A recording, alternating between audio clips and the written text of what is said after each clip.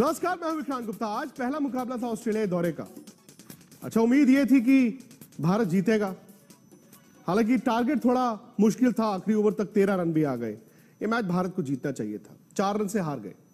चार रन से भारत इस टी ट्वेंटी मुकाबले को हारा है। आ, मैच पूरा देखते हैं कैसा आपको लगा। आपको हाइलाइट्स भी दिखाते हैं। हरभजन सिंह और मदन जी दोनों मेरे साथ भी रहेंगे क्योंकि कई अहम सवाल हैं आज भारतीय क्रिकेट टीम के। आ, मसलन विराट कोहली जो दुनिया के सबसे बड़े बल्लेबाज हैं। क्या उनको अपना नंबर तीन टी ट्वेंटी में के राहुल को देना चाहिए? के राहुल की मदद हो जाएगी, लेकिन टीम का क्या उससे नुकसान नहीं है? युजवेंद्र चहल और कुलदीप की वो जोड़ी, सफल जोड़ी, क्या वो तोड़ना वाजिब है? कृणाल पांड्या को खिला दिया गया। अब जानते हैं कि ऑस्ट्रेलिया में स्पिनर चलता है, लेकिन फिंगर स्पिनर कामयाब नहीं होता। तो कई सारे सवाल इस बुलेटिन में उठाएँगे, लेकिन भजू, सबसे पहला सवाल तो यही है। कह सकते हैं कि वाह, क्या क्रिकेट हुई। मज़ा आ गया।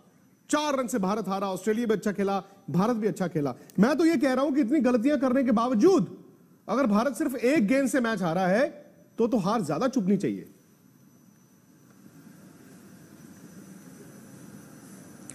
जी, बिल्कुल, इसमें कोई शक नहीं है कि भारत ये मैच जीत सकता था और बहुत करीब था इस जीत के, बट गलतियाँ काफ़ी हुई हैं। जैसे आपने कहा है कि विराट कोहली का नंबर चार पे आना जो कि वर्ल्ड के सबसे बढ़िया अगर कोई बल्लेबाज हैं तो विराट कोहली है और नंबर तीन पे उन्होंने अपने करियर में सबसे ज़्यादा रन बनाए हैं।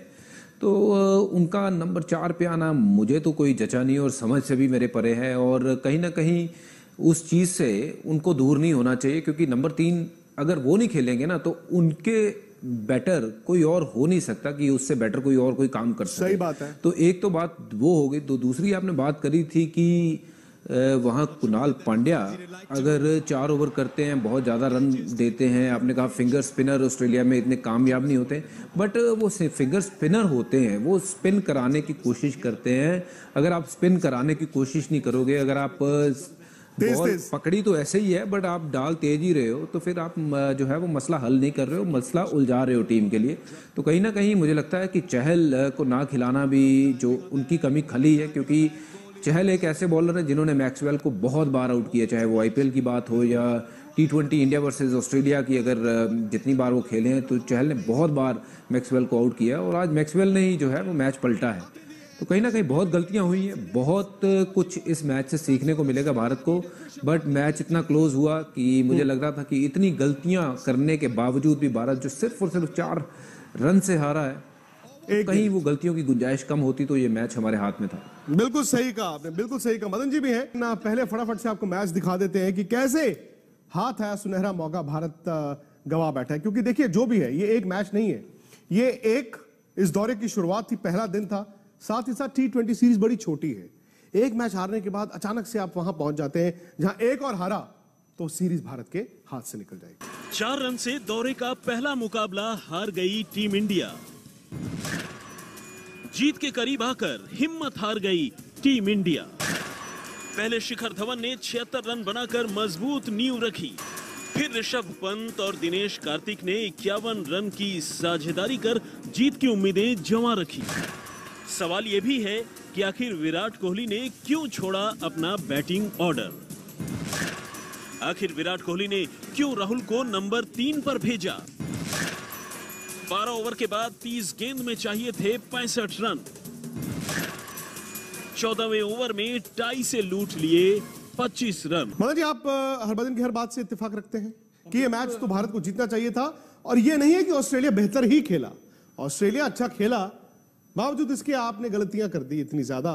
और फिर भी आप इतनी पास आके आ रहे हैं। नहीं, देखिए, जो हरभजन ने कहा बिल्कुल ठीक है, क्योंकि क्योंकि एक बात तो मैं कहना चाहूँगा जैसे ऋषभ अपना सॉरी इसका शिखर धवन बैटिंग कर रहे थे, पहले बॉल से लेके टिल द जब तक उन्होंने बैटिंग की उन्होंने डोमिनेट किया बॉल बॉलिंग को ऑस्ट्रेलिया बॉलों पता नहीं लगा बॉलर्स को भी गेंद कहाँ करें मोर ऑफ़ द रीजन कि विराट कोहली को नंबर तीन पे आना चाहिए था, क्योंकि एक बैट्समैन जो है, आपका बिल्कुल एकदम सेट है तो आपको भी थोड़ा सा अगर टाइम लगता भी है तो उसमें कोई ज़्यादा फ़र्क नहीं पड़ता। बाकी तो मैंने आपको पहले भी कहा था लंच टाइम पे जब हम शो कर रहे थे कि कुणाल पांड्या क्योंकि लास्ट मैच जब मैंने देखा बड़े गौर से देखा था मैंने इसका अगेंस्ट वेस्ट इंडीज बिल्कुल नहीं लगा कि ये बिल्कुल ऐसा कोई बॉलर है जहाँ पे ये टर्न करा पाएगा। वैसे ऑस्ट्रेलियन विकेट टर्न नहीं करती। और ये ज़्यादा जैसे बजू ने कहा कि आके तेज तेज करता है। जितनी ज़्यादा तेज करेगा उतना ज़्यादा गेंद जो आएगा।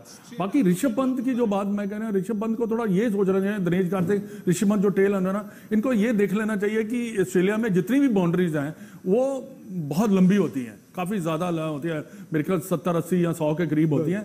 ये थोड़ा सा विचार ये नहीं है कि वो क्लियर नहीं कर सकते पर ये है कि गेम प्लान के अंदर आपको रहना चाहिए कि मैं ये कर लेकिन मार लेकिन लेकिन बच्चों जो आज शॉट भी ऋषभ ने खेला है अब वो देखिए आखिरी मैच भी तो वेस्ट इंडीज के खिलाफ था वो शॉट खेलकर बच गए जेल से भारत निकल गया। लेकिन आप मैच बनाओ एंड तक लेकर जाओ और फिर यही शॉट खेल दो। ये अंडर 19 लेवल तक चलता है क्या भारत की टीम इस बात को सहलेगी?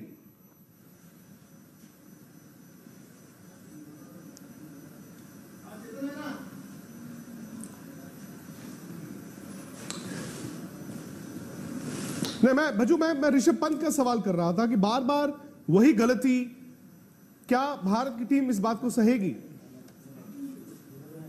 जी विकी बाजी सॉरी मुझे यहाँ पे आवाज़ कम आ रही है पर मैं आपका सवाल समझ गया हूँ कि आपने बात करी है कि ऋषभ पंत बार बार वही गलती दोहरा रहे हैं जो कि कोई अंडर 19 का बच्चा करता हो और उसको अ, सिखाया जाता है कि ऐसे शॉट नहीं खेलने हैं। आप मैच को क्लोज तो लेके आज खत्म नहीं कर पा रहे हो क्योंकि आप में टैलेंट है।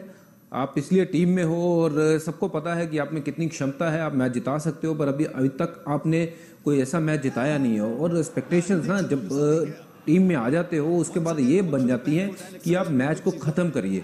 ये जो आज उन्होंने शॉट खेला वो शॉट ऑन तो नहीं था क्योंकि उनकी वो स्ट्रेंथ नहीं है। उनकी स्ट्रेंथ है सामने खेलना और मिड विकेट की तरफ़ अगर वो बड़े शॉट लगाते हैं तो मुझे लगता है कि ज़्यादा सक्सेसफुल होते हैं। कहीं ना कहीं ना वो कोई ऐसे अतरंगी शॉट जब खेलते हैं ना तो वो आउट हो जाते हैं वो अपनी टीम को फंसा देते हैं। तो कहीं ना कहीं उनको यहाँ से सीख लेनी चाहिए मैनेजमेंट को उनसे बात करनी चाहिए कि अपनी गेम खेलें। ये उनकी गेम नहीं है कि जो चू चुलाकी वाली गेम की आ, उल्टा घूम के मार दिया रिवर्स आ, मार दिया या क्योंकि चार ही फील्डर अंदर थे इस तरफ़। चलिए, मैं मैं बजू, छोटे से ब्रेक के लिए रुक रहा हूँ। ब्रेक के बाद चर्चा जारी रहेगी, लेकिन एक बार फिर तमाम सवाल और विस्तार से आठ बजे YouTube चैनल स्पोर्ट्स तक पर आपके सवाल लिए जाएँगे, क्योंकि हार होनी नहीं चाहिए थी। और बड़ा सवाल यही है कि आप विराट कोहली नंबर तीन दे रहे हैं के राहुल को। भारत का टीम का क्या इसका फ़ायदा है? फटाफट जाए यूट्यूब पर स्पोर्ट्स तक को सब्सक्राइब करें। हम लौट रहे हैं छोटे से ब्रेक के बाद।